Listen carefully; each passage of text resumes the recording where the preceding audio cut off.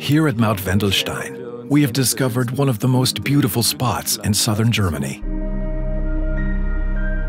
Wendelsteinbahn operates the Rack Railway on the Wendelstein, the oldest mountain railway in Germany.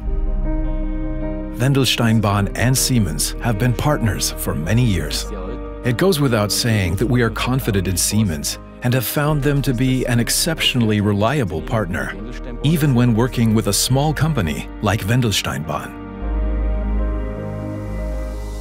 The interesting thing about the Wendelsteinbahn project is that we can carry out two functions using a single system.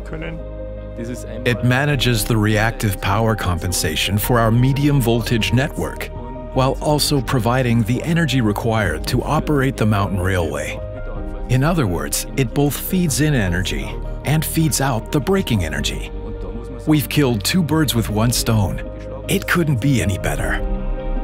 Another challenge was, of course, the fact that this is a rack railway. And unlike normal railways, the braking process takes much longer, which means that we had to adjust our approach accordingly to ensure that we were feeding energy back into the system in a feasible way at all times.